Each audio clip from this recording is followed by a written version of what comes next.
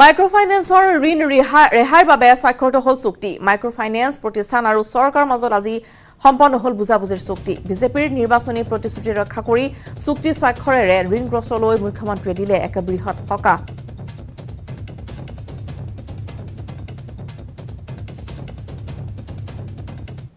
যিসকল আই মাতৃ বাইদেউ ভনীয়ে মাইক্ৰ' ফাইনেন্সত লোন লৈ নিয়মিতভাৱে লোন উভতাই দি আছিলে একত্ৰিছ মাৰ্চ পৰ্যন্ত। তেনে এঘাৰ এঘাৰ লাখ মহিলাক উদগনি হিচাপে আমি পঁচিছ হাজাৰ টকা পৰ্যন্ত তেওঁলোকক আমি পুঁজি তেওঁলোকলৈ হস্তান্তৰ কৰিম। পঁচিছ হাজাৰ পৰ্যন্ত বুলি মই এইকাৰণেই কৈছোঁ। ইয়াৰ মাজত কিছুমান আই মাতৃ আছে। যাৰ মাত্ৰ দহ হাজাৰ টকাহে লোন ঘূৰাই দিব বাকী ৰৈছে। কাৰণ কোনোবাৰ বিছ হাজাৰ টকা ঘূৰাই দিব বাকী ৰৈছে। কোনোবাৰ ত্ৰিছ হাজাৰ টকা ঘূৰাই দিব বাকী ৰৈছে। গতিকে পঁচিছ হাজাৰ টকা পৰ্যন্ত তেওঁলোকে ৰাজ্য চৰকাৰৰ পৰা উভতাই পাব। যিসকল আই মাতৃয়ে লোন লৈছিল কিন্তু লোন ঘূৰাই দিব নোৱাৰাৰ কাৰণে সেই লোন নন পাৰফৰ্মিং এছেট বা যাক আমাৰ ঘৰুৱা ভাষাত ব্লেকলিষ্টেড বুলি ক'ব পাৰোঁ যে যিসকলে লোন ঘূৰাই দিব সম্পূৰ্ণকৈ নোৱাৰিলে তেওঁলোকৰ লোনটো চৰকাৰে ঘূৰাই দিবলৈ সিদ্ধান্ত লৈছে। তেওঁলোকক ফৰ্ম বিতৰণ কৰা হ'ব। সেই ফৰ্ম তেওঁলোকে আমাক ফিল আপ কৰি দিব আৰু সেইমতে আমি তেওঁলোকক তেওঁলোকৰ লোন আমি বেংকক বা এম এফ আইক আমি মাৰি দিম। আৰু তেওঁলোকে এখন চাৰ্টিফিকেট পাব। এই গোটেইখিনি কাম কৰোঁতে এই এম এফ আই আৰু বেংকসমূহেও কিছুমান লোন দিছিল যি লোন ৰিজাৰ্ভ বেংকৰ নীতিৰ বিৰুদ্ধে আছিল। সেই যিমানখিনি লোন ৰিজাৰ্ভ বেংকৰ নীতিৰ বিৰুদ্ধে আছিল সেইখিনি লোন এম এফ আই আৰু বেংকসমূহে আমাৰ পৰা বা কাষ্টমাৰৰ পৰা দুয়োটাৰ পৰাই ল'ব নোৱাৰিব। সেই লোন তেওঁলোকে ৰেহাই দিব লাগিব। এই ধৰণৰ তিনিটা পৰ্যায়ত আজি আমাৰ এখন বুজাবুজিৰ চুক্তি স্বাক্ষৰিত হ'ল। মই ভাবোঁ যে এঘাৰ লাখ মহিলাক পঁচিছ হাজাৰ টকা পৰ্যন্ত উভতাই দিয়াৰ কামটো অত্যন্ত সোনকালে আৰম্ভ কৰিব পৰা যাব। বাকী যিসকলৰ লোন এন পি এ হৈছে তেওঁলোকৰ আবেদন লৈ আবেদন পৰীক্ষা কৰাৰ পিছত তেওঁলোকৰ লোন আমি উভতাই দিম। বেংক আৰু মাইক্ৰ' ফাইনেন্স ইণ্ডা কোম্পেনীসমূহেও তেওঁলোকৰ যিটো বুক ক্লিনিং কৰিব লাগিব অৰ্থাৎ তেওঁলোকে R B I fair practice কোডৰ বাহিৰত যিখিনি লোন দিছিল তাৰ দায়িত্ব নিজৰ মূৰৰ ওপৰত ল'ব লাগিব কাষ্টমাৰৰ মূৰৰ ওপৰত দিব নোৱাৰিব। সেইখিনিও কাম তেওঁলোকে সোনকালে আৰম্ভ কৰিব এইটোৱে আছিল আজিৰ যিটো আমাৰ মেমৰেণ্ডাম অৱ আণ্ডাৰষ্টেণ্ডিং বা বুজাবুজিৰ চুক্তিৰ সাৰমৰ্ম আনুষ্ঠানিকভাৱে বি টি আৰত অৱসান ঘটিল এন এল এফ বিৰ সশস্ত্ৰ সংগ্ৰামৰ মূল সুতিলৈ উভতিল সংগঠনটোৰ সকলো সদস্য। কামাণ্ডাৰ বি গুনাইথিৰ নেতৃত্বত অৰণ্যৰ পৰা ওলাই আহিল সাতষষ্ঠিজনকৈ N L F B cadre আত্মসমৰ্পণৰ সময়ত আৰক্ষীৰ হাতত জমা দিলে বৃহৎ সংখ্যক অস্ত্ৰ শস্ত্ৰ অসম অৰুণাচল সীমান্তৰ কিয়াজুলি অঞ্চলত যুদ্ধবিৰতিত আছিল সংগঠনটোৰ কেডাৰসকল। কেডাৰসকলৰ লগত আছিল আছে second commander D Sufra live!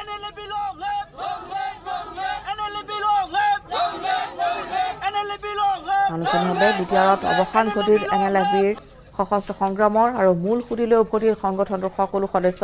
Commander B. গুনাইথিৰ নেতৃত্বত অৰণ্যৰ পৰা ওলাই আহিল সাতষষ্ঠিজনকৈ N L F B cadre আত্মসমৰ্পণৰ সময়ত আৰক্ষীৰ হাতত জমা দিলে বৃহৎ সংখ্যক অস্ত্ৰ শস্ত্ৰ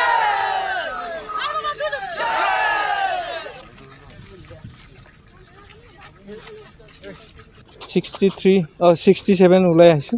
অঁ তাৰপিছত প্লাটন প্লাটন কামাণ্ডাৰ হিচাপে আমাৰ হেৰি আছে গণাইথি তেখেতৰ নেতৃত্বত আহিছে। আজি এতিয়া নাই। সেইখিনি শেষ। আজি শেষ। মানে N L F total cadre আজিৰ পৰা শেষ? আজি শেষ। কিমান অস্ত্ৰ শস্ত্ৰ জমা দিলে আজি? অস্ত্ৰ কিমান জমা দিব? অস্ত্ৰ টোটেল ডাঙৰ আৰ্মছ দহটা আছে। একে চিৰিজৰ এই আঠটা আৰু এচলাৰ দুটা। ছেভেন পইণ্ট দুটা। সেইখিনি। ভাল কামনা কৰিছোঁ আমিও ভাল ভাল কিবা এটা সমাধান হ'ব লাগে এইটো আমি বিচাৰিছোঁ। একৈশটা মাহে দৰমহাৰ পৰা বঞ্চিত হৈ আছে অসমৰ বিভিন্ন জিলাত থকা এঘাৰখনকৈ পলিটেকনিকত কৰ্মৰত তিনিশ আঠচল্লিছগৰাকী চতুৰ্থ বৰ্গৰ কৰ্মচাৰী। প্ৰাপ্য পাৰিশ্ৰমিক লাভ নকৰাত এতিয়া পানী ধান ওচৰা অৱস্থাৰ সৃষ্টি হৈছে এইসকল কৰ্মচাৰীৰ। এই সন্দৰ্ভত সদৌ অসম নৱনিৰ্মিত পলিটেকনিক ঠিকা ভিত্তিক চতুৰ্থ বৰ্গৰ কৰ্মচাৰী সন্থাই মুখ্যমন্ত্ৰী হিমন্ত বিশ্ব শৰ্মা শিক্ষামন্ত্ৰী ৰণোজ পেগু মুখ্য সচিব কাৰিকৰী শিক্ষা প্ৰতিষ্ঠানৰ সঞ্চালককে ধৰি বিভাগীয় কৰ্তৃপক্ষক লিখিতভাৱে জনোৱাৰ পিছতো কোনো পদক্ষেপ গ্ৰহণ নকৰিলে। এই সন্দৰ্ভত শোণিতপুৰৰ ঠেলামৰাত সংবাদ মেল পাতি ক্ষোভ প্ৰকাশ কৰিছে সদৌ অসম নৱনিৰ্মিত পলিটেকনিক চতুৰ্থ বৰ্গৰ কৰ্মচাৰী পৰিষদে। শীঘ্ৰে প্ৰাপ্য দৰমহা মোকলাই দিবলৈ আহ্বান জনাইছে কৰ্মচাৰী সংগঠনটোৱে।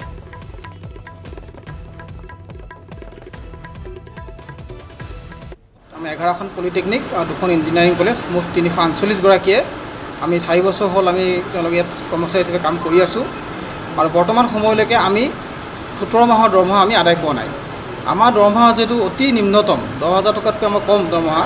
এই দৰমহাসমূহ আমাৰ নিয়মীয়াকৰণ নহ'লে বজাৰৰ যিটো মূল্যবৃদ্ধি এই ক্ষেত্ৰত আমাৰ নিজৰ ল'ৰা ছোৱালী পঢ়োৱা বজাৰ সমাৰ কৰা ঘৰখন পৰিচালনা কৰাত বহুত কষ্ট হয় আমাৰ। য'ত আমাৰ বহুত কষ্ট হয় সেইকাৰণে আমি এটা অনুৰোধ জনাব বিচাৰিছোঁ চৰকাৰক যে চৰকাৰে অতি সোনকালে এই ক্ষেত্ৰত এটা হস্তক্ষেপ কৰি আমাৰ দৰমহাসমূহ বৃদ্ধি কৰা দৰমহাসমূহ নিয়মীয়াকৰণ এই ক্ষেত্ৰত এটা তেওঁলোকে এটা কাৰ্যব্যৱস্থা হাতত ল'ব লাগে। মুখ্যমন্ত্ৰী মহোদয়ক মানে বাৰ বাৰ এটাই অনুৰোধ কৰিছোঁ আপোনাৰ হস্তক্ষেপ লাগে। আমাৰ ফাইলটোৰ কিবা এটা ব্যৱস্থা কৰক। আমাৰ যিটো দীঘলীয়া প্ৰচেছ আছে আমাৰ যিটো ইমান দীঘলীয়া প্ৰচেছৰ দ্বাৰা আমাৰ দৰমহাখিনি হয় ছ মানে এবছৰৰ মূৰত হয় ডেৰ বছৰৰ মূৰত হয় আগৰ পৰা আমাৰ এনেকুৱা চলি আহিছে চাৰি বছৰে। সেই ছিষ্টেমটো আমাক বন্ধ কৰি মাহিলী দিয়াৰ ব্যৱস্থাটো কৰক। আমাৰ তাত বাহিৰে বেলেগ ক'ব লগা নাই। হোজাই হাৱাইপুৰত বনকৰ্মীৰ মৃতদেহ উদ্ধাৰ। হাৱাইপুৰৰ ৰেল লাইনৰ লাঠিত উদ্ধাৰ কৰা হৈছে মৃতদেহটো। মৃত বনকৰ্মীজনৰ নাম হৈছে ৰবীন্দ্ৰ শইকীয়া। লংকা আঞ্চলিক কাৰ্যালয়ত কৰ্মৰত আছিল ৰবীন্দ্ৰ শইকীয়া। ৰেলপথত বনৰীয়া হাতী টহলৰ দায়িত্বত আছিল শইকীয়া। বনকৰ্মীজনৰ মৃত্যুৰ প্ৰকৃত কাৰণ এতিয়াও জানিব পৰা হোৱা নাই। নিশা ৰেলৰ খুন্দাত মৃত্যু হোৱাৰ সন্দেহ কৰিছে স্থানীয় লোকসকলে। জনাইছো যে হোজাই হাৱাইপুৰত বনকৰ্মীৰ মৃতদেহ উদ্ধাৰ কৰা হৈছে। হাৱাইপুৰৰ ৰেল লাইনৰ দাঁতিত উদ্ধাৰ কৰা হৈছে মৃতদেহটো মৃত বনকৰ্মীজনৰ নাম হৈছে ৰবীন্দ্ৰ শইকীয়া। লংকা আঞ্চলিক কাৰ্যালয়ত কৰ্মৰত আছিল ৰবীন্দ্ৰ শইকীয়া। ৰেলপথত বনৰীয়া হাতী টহলৰ দায়িত্বত আছিল শইকীয়া। বনকৰ্মীজনৰ মৃত্যুৰ প্ৰকৃত কাৰণ এতিয়াও জানিব পৰা হোৱা নাই। নিশা ৰেলৰ খুন্দাত মৃত্যু হোৱাৰ সন্দেহ কৰিছে স্থানীয় লোকসকলে। আঞ্চলিক বন কাৰ্যালয়ৰ অধীনস্থ এই হাৱাইপুৰ এটা ৰেলৱে ষ্টেচনত one sixty six number oblique seven এই পোষ্টৰ পৰা ডিউটি কৰিবলৈ অহা অৱস্থাত ৰবীন্দ্ৰনাথ শইকীয়া। তেখেতক মানে ৰেলৰ দুৰ্ঘটনাত পতিত হয়। আৰু সেইটো আচলতে সেই সময়ত বৰষুণ হৈ আছিলে। একচুৱেল প্ৰত্যক্ষদৰ্শী কোনো নাছিলে। এতিয়া কেনেকৈ হ'ল গোটেই ঘটনাটো অলপ আমাৰ সন্দেহৰ অৱৰ্তত থাকি গৈছে। এতিয়া কথাটো এনেকুৱা হৈছে মানে ডিউটি তেওঁ ৰেজিষ্টাৰ এখন আমাৰ ইয়াতে মেইনটেইন কৰা হয়। তাতে যতদূৰ সময় তেওঁ চহী কৰি মেলি ঘূৰি যোৱা অৱস্থাতে এই ঘটনাটো সংঘটিত হৈছে বুলি আমি সন্দেহ প্ৰকাশ কৰিছোঁ। এই ল'ৰাটোৱে সদায় হাতীৰ মানে ট্ৰেকত ডিউটি দিয়ে ফৰেষ্টাৰৰ লগত। আৰু আগত দেখি আহিছোঁ যে এই ফৰেষ্টাৰ এজনৰ লগত সদায় সন্ধিয়া ছটা বজাত তাত চহী কৰে। কিন্তু ফৰেষ্টাৰজন মাজে মাজে নাহে যিজন ডিউটি পৰে। আজিও তেওঁ আজি চাৰে নটা বজাত আহিছে। মই ইয়াতে ৰৈ থাকোঁতে তেতিয়াহে তেওঁ আহিছে। কিন্তু তেওঁ অকলে অহাৰ কাৰণে আজি এইটো এক্সিডেণ্ট হ'বলৈ পালে তাত চহী কৰি পেলাই। কোনখন ট্ৰেইনে মাৰিছে? ট্ৰেইনখন আগৰতলা কাঞ্চনজংঘা। সেইখন ট্ৰেইনে বোলে। আগৰতলা কাঞ্চনজংঘা। বাতৰি সময় হৈছে আন এটি বিৰতিৰ। উভতি আছো বাতৰি শেষ অংশলৈ। ৰাজ্যৰ ৰাজনীতিত এতিয়া বৰভূমিৰ ৰাজনীতি আৰু মহাজোঁটৰ প্ৰাসংগিকতাক লৈ ব্যাপক চৰ্চা চলি আছে মুখ্যমন্ত্ৰী ডঃ হিমন্ত বিশ্ব শৰ্মাই। বি পি এফ আৰু ইউ পি পি এলক দুটা ফৰ্মুলাৰে মিত্ৰতা চামিল হ'বলৈ পৰামৰ্শ দিয়াৰ সময়ছোৱাতে এ আই ডি এফৰে কংগ্ৰেছৰ মিত্ৰতা ৰাইজে বিচৰা নাই বুলি মঙলবাৰে মুকলিকৈ প্ৰকাশ কৰে। প্ৰদেশ কংগ্ৰেছৰ কাৰ্যকৰী সভাপতি কমলাক্ষ দেৱ পুৰকায়স্থই কি ফৰ্মুলাত বিজেপিৰে হ'ব বি পি এফৰ মিত্ৰতা? দুটা ফৰ্মুলাক লৈ বড়োভূমিৰ ৰাজনীতিত ব্যাপক চৰ্চা। বি টি আৰৰ ৰাজনীতিত এতিয়া চলিছে গৰম বতাহ। হাগ্ৰামা মহিলাৰীয়ে মুখ্যমন্ত্ৰী আৰু মুখ্যমন্ত্ৰীৰ প্ৰতিনিধিৰ সৈতে মিত্ৰতা সম্পৰ্কত বহুবাৰ আলোচনাত মিলিত হৈছে। বিজেপিৰে মিত্ৰতা ৰক্ষাত মুখ্যমন্ত্ৰীৰ প্ৰতিনিধিয়ে হাগ্ৰামা মহিলাৰীক দিয়া ফৰ্মুলা মতে বি টি আৰৰ মুৰব্বী পদত হয় প্ৰমোদ বড়ো নহয় হাগ্ৰামা মহিলাৰী অধিষ্ঠিত হ'ব। দুয়োজনৰ এজন আহিব লাগিব দিছপুৰলৈ। নহলে দ্বিতীয়টো ফৰ্মুলা মতে বি টি আৰ এৰি দুয়োজন নেতাই দিছপুৰলৈ উপ নিৰ্বাচনত প্ৰতিদ্বন্দ্বিতা কৰি আহিব লাগিব। এই ফৰ্মুলাক লৈ এতিয়া হলঠেকত পৰিছে বি টি আৰৰ মুৰব্বী তথা ইউ পি পি এলৰ মুৰব্বী প্ৰমোদ বড়ো। মঙলবাৰে প্ৰমোদ বড়োৱে এই বিষয়ত কেৱল সংবাদ মাধ্যমতহে চৰ্চা চলি আছে বুলি মন্তব্য কৰে। সংবাদ মাধ্যমে ক'ৰ পৰা ওলাইছে ক'ৰ পৰা ওলোৱা নাই আমি নাজানো। আমাৰ দলীয়ভাৱে কোনো তেনেকুৱা খবৰো নাই আলোচনাও হোৱা নাই। গতিকে সংবাদ মাধ্যমৰ কাৰণে এই সময়ত হয়তো এইটো বিৰাট হিট নিউজ হ'ব পাৰে। তো সেইকাৰণে সংবাদ মাধ্যমে কেইদিনমান এই নিউজটো লৈ চলাই থাকক। মই সেইটোকে ধন্যবাদ জনাইছোঁ। আচলতে মিত্ৰতাৰ দুৱাৰ বি পি এফৰ বাবে বিজেপিয়ে খোলাক লৈ এতিয়া বিপাঙত পৰিছে ইউ পি পি এল একেখন মঞ্চত বিজেপিৰ সৈতে থাকিবনে ইউ পি পি এল আৰু B P F U P P L তথা বি টি আৰৰ মুৰব্বী প্ৰমোদ বড়োৰ দাবী ৰাজনীতিৰ কথাতকৈ উন্নয়নৰ কথাহে চৰ্চা কৰিব লাগে। এতিয়া বড়োলেণ্ডত যিটো আছে সমস্যাবিলাক সমাধান কৰিব লাগে। ইয়াৰ কাৰণে আমি মনোনিৱেশ কৰিছোঁ আৰু ৰাজনীতিটো ইমান ইমান যিমান ডিছকাশ্যন হৈছে মই নাভাবোঁ যে এইটো ইমান সমাজক হেল্প কৰিব। আমাক হেল্প কৰিব যেতিয়া ডেভেলপমেণ্ট হ'ব। তো সেইকাৰণে আপোনালোককো মই ৰিকুৱেষ্ট কৰিছোঁ ডেভেলপমেণ্ট গুৰুত্ব দিয়ক। ডেভেলপমেণ্টেল কিয় আমাৰ স্কুলবিলাক প্ৰভিঞ্চিয়েলাইজ হোৱা নাই ৰাস্তা ঘাট কি হৈ আছে ক'ভিডৰ কাৰণে কিমান মানুহৰ সমস্যা হৈছে এইবিলাক কথা পাতক। খালি ৰাজনীতি ৰাজনীতি কৰি থাকিলেতো নহ'ব নহয় ইপিনে Congress A I U D এফৰ নেতৃত্বত থকা মহাজোঁটক লৈ অতি সম্প্ৰতি চলিছে ব্যাপক চৰ্চা। থাকিব গৈনে বিৰোধীৰ মহাজোঁট? এই সন্দৰ্ভত মঙলবাৰে সাংবাদিকৰ প্ৰশ্নৰ উত্তৰত প্ৰদেশ কংগ্ৰেছৰ কাৰ্যকৰী সভাপতি তথা বিধায়ক কমলাক্ষ দেৱ পুৰকাষ্ঠই কৈ দিলে এ আই ইউ ডি এফৰ মিত্ৰতা ৰাইজে বিচৰা নাই। বিগত নিৰ্বাচনত সেয়ে পৰাজিত হ'ল মহাজোঁট। ৰাইজৰ মতামতটো বহুতে আছে। বহুতে কৈছে যে আপোনালোকে ইউ ডি এফৰ লগত আপোনালোকে হেৰিয়াটো নকৰিব আৰু এলায়েন্সটো নকৰিব বহুতে কৈছে আৰু মানুহে কৈছে এইখিনি কথা আমাৰ কোৰ কমিটিত আলোচনা হ'ব। আলোচনা হৈ কেনে আমাৰ সিদ্ধান্তটো আমি আগত দিনত ল'ম বাৰু মহাজোঁটক লৈ প্ৰশ্ন কৰাৰ সময়তে মহাজোঁটৰ অংশীদাৰ দল বি পি এফ প্ৰসংগও মঙলবাৰে উত্থাপিত হ'ল। এই প্ৰসংগত কমলাক্ষ দেৱ পুৰকাষ্ঠই ক'লে বি পি এফ মহাজোঁটত থকা নথকাক লৈ চিন্তিত নহয় কংগ্ৰেছ। কংগ্ৰেছ আঞ্চলিক দল নহয় এটা সৰ্বভাৰতীয় দল। বি পি এফ নহ'লেও কথা নাই। কোনে থাকিব কোনে নাথাকিব এইটো কথা নাই। Congress is a national party কংগ্ৰেছটো আৰু আঞ্চলিক কিবা দল নহয়। নেশ্যনেল পাৰ্টি এইটো কাৰণে আমাৰ এটা আইডিঅলজি এটা আছে। আমাৰ এটা সংগঠন এটা এটা আছে। সেইটো কাৰণে কোন থাকিব কোন নাথাকে কোনো কোনোবা যদি থাকিব নিবিচাৰে যদি আমিতো আৰু ক'ব নোৱাৰি যে নাই আপোনালোকে থাকক নাথাকিলে নহ'ব আৰু। এনেকৈ ক'ব নোৱাৰি কিন্তু কোনোবা থাকিব কোনোবা নাথাকে এইটো তেওঁলোকৰ কথা। কিন্তু মুঠতে সাম্প্ৰতিক সময়ত ৰাজ্যৰ ৰাজনীতি বড়োভূমিৰ ৰাজনীতি আৰু মহাজোঁটৰ ৰাজনীতিয়ে গৰম কৰি ৰাখিছে। মুছলপুৰৰ পৰা মনোহৰ ৰাজবংশীৰ সৈতে বিজু কুমাৰ ডেকাৰ report news eighteen Assam north east. মাৰ্কিন সেনাক কাবুল ত্যাগৰ হুমকি দিলে তালিবানে। মাৰ্কিন সেনাক বান্ধি দিলে একত্ৰিছ আগষ্টৰ সময়সীমা। ইফালে কাবুল বিমান বন্দৰৰ পৰা তালিবানে হাজিয়া কৰিলে ইউক্ৰেইনৰ বিমান। তালিবানৰ কাবুল দখলৰ দহ দিন। ৰক্তপাতহীনভাৱে কাবুলসহ আফগানিস্তানৰ প্ৰায়বোৰ অঞ্চল দখল কৰা তালিবানে এতিয়া প্ৰকাশ কৰিছে নিজৰ স্বৰূপ। একত্ৰিছ আগষ্টৰ ভিতৰত মাৰ্কিন সেনাক কাবুল এৰিবলৈ হুমকি দিছে তালিবানে।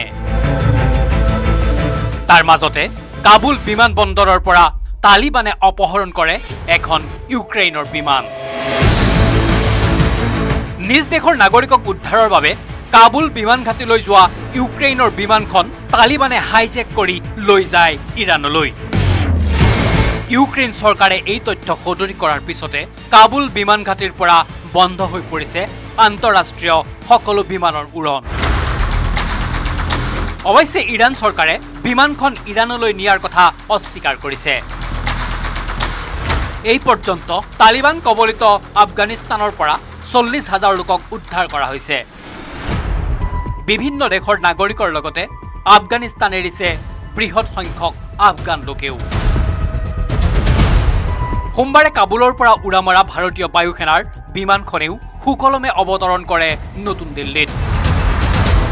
দিল্লীত কেন্দ্ৰীয় মন্ত্ৰী হৰদীপ সিং পুৰীয়ে আদৰি আনিলে বিমানখনত কাবুলৰ পৰা কঢ়িয়াই অনা শিখসকলৰ পবিত্ৰ ধৰ্মগ্ৰন্থ গুৰু গ্ৰন্থ চাহিবজী।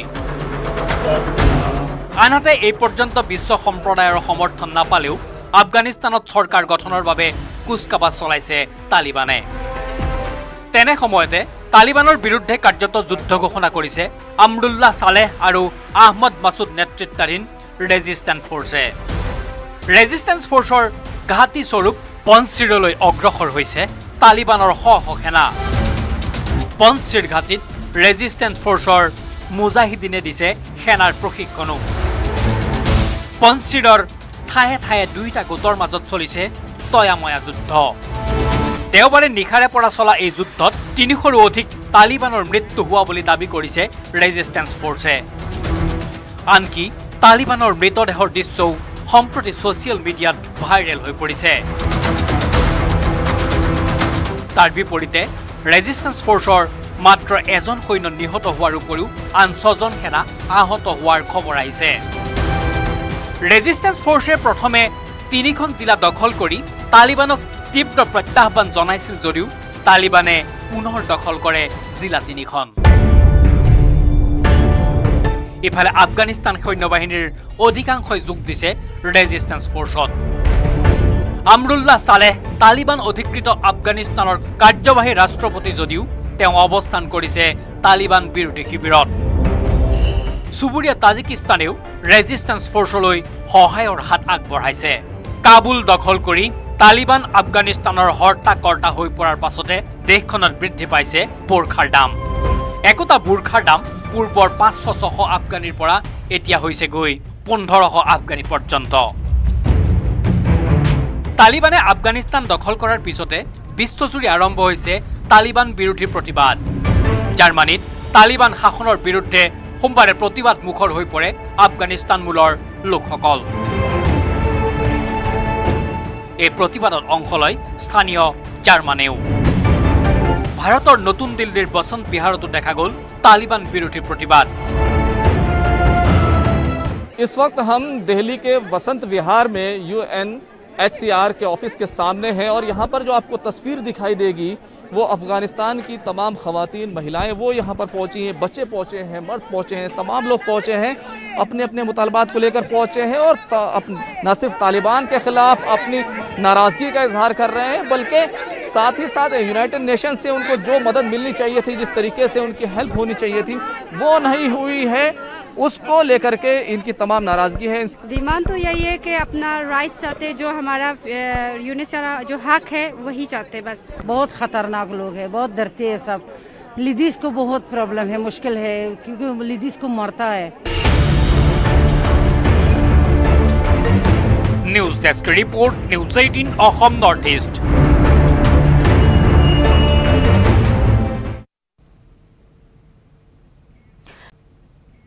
news eighteen আৰু বাইজুছে বিগত বৰ্ষত এনে একাংশ প্ৰতিভা সম্পন্ন যুৱক যুৱতীক পোহৰলৈ আনিছিল।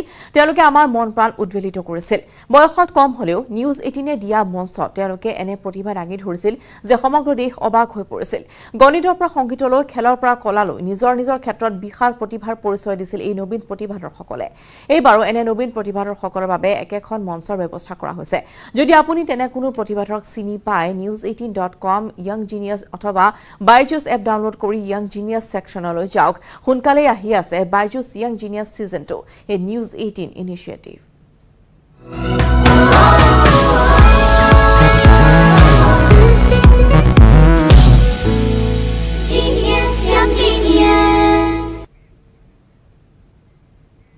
কোভিড সৃষ্ট বিশেষ পৰিস্থিতিৰ মাজতে হাইস্কুল শিক্ষান্ত পৰীক্ষাৰ উচ্চতৰ মাধ্যমিক পৰীক্ষাৰ ফলাফল ঘোষণা কৰা হ'ল। বৰ্তমান সমগ্ৰ অসমৰ মহাবিদ্যালয়সমূহৰ লগতে উচ্চতৰ মাধ্যমিক বিদ্যালয়ৰ নামসমূহতো নাম ভৰ্তিৰ প্ৰক্ৰিয়া চলি আছে। কিন্তু এই প্ৰক্ৰিয়াত কিছু পৰিমাণে অসুবিধাৰ সৃষ্টি হৈছে কাৰণ এই বছৰৰ দুয়োটা পৰীক্ষাতে উত্তীৰ্ণৰ হাৰ অইন কেইবছৰৰ তুলনাত যথেষ্ট পৰিমাণে বেছি। কিন্তু সেই অনুপাতে বিদ্যালয় মহাবিদ্যালয়সমূহত আসনৰ সংখ্যা সীমিত। ৰঙিয়া উচ্চতৰ মাধ্যমিক বিদ্যালয়তো একেই পৰিস্থিতিৰ সৃষ্টি হৈছে। বিদ্যালয়খনত কলা শাখাত আসনৰ সংখ্যা এশ পঞ্চাছ গৰাকী বাণিজ্য শাখাত ষাঠি গৰাকী আৰু বিজ্ঞান শাখাত আশী গৰাকী কিন্তু এতিয়ালৈকে অনলাইন যোগে বিদ্যালয়খনত আঠশৰো অধিক ছাত্ৰ ছাত্ৰীয়ে আবেদন জনাইছে। তেনে পৰিপ্ৰেক্ষিতত যথেষ্ট সংখ্যক ছাত্ৰ ছাত্ৰীয়ে বিদ্যালয়খনত নাম ভৰ্তি কৰিব নোৱাৰিব বুলি বিদ্যালয়খনৰ অধ্যক্ষগৰাকীয়ে জানিবলৈ দিয়ে। বিদ্যালয়খনত মেধাৰ ওপৰত ভিত্তি কৰিহে ছাত্ৰ ছাত্ৰীসকলক নাম ভৰ্তিৰ বাবে অগ্ৰাধিকাৰ দিয়া হ'ব বুলিও জানিবলৈ দিছে অধ্যক্ষগৰাকীয়ে। সেই ক্ষেত্ৰত ছাত্ৰ ছাত্ৰীসকলে শিক্ষামন্ত্ৰীক এক উচিত পদক্ষেপ গ্ৰহণ কৰিবলৈও আহ্বান জনাইছে।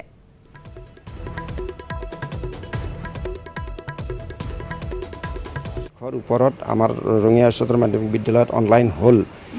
কিন্তু আমাৰ ছিটৰ সংখ্যা যিহেতু তাকৰ আৰ্টছত আছে এশ পঞ্চাছটা আৰু ছায়েন্সত আশীটা আৰু কমাৰ্চত আছে ষাঠিটা। যিকোনো উপায়ে আমাৰ চৰকাৰে যেতিয়া আমাক যদি ছাত্ৰ ছিটৰ সংখ্যা বঢ়োৱাৰ কাৰণে সুবিধা এখন কৰি দি দিয়ে তেতিয়া আমি দিব পাৰিম বুলি আশা কৰিব পাৰি। মাননীয় শিক্ষামন্ত্ৰী মহোদয়ক মই এইটো অনুৰোধ কৰিম যে আমাক যিখিনি মেধাৱী ছাত্ৰ হিচাপে বা যিখিনি আমি পাৰ্চেণ্টেজ লৈ পাছ কৰিছোঁ সেইখিনি এটা সন্তুষ্ট হৈ যাতে আমাক এখন ভাল বিদ্যালয়ত নাম ভৰ্তি কৰিবলৈ যাতে আমাক সুবিধাকণ কৰি দিয়ে। চৰকাৰে যাতে এটা সঠিক ব্যৱস্থা লয় আমিও যাতে আমাৰ ঘৰৰ পৰিস্থিতিও ইমান ভাল নহয় যে আমি প্ৰাইভেট স্কুলত পঢ়িব পাৰোঁ চৰকাৰী স্কুলত যাতে পঢ়িব পাৰোঁ ভাল এখন কলেজত। তাৰে মই শিক্ষামন্ত্ৰী মহোদয়ক অনুৰোধ কৰিছোঁ। আমি ইয়াৰ লগতে গুড মৰ্ণিং এইটিনৰ পৰা বিদায় লৈছোঁ। নমস্কাৰ।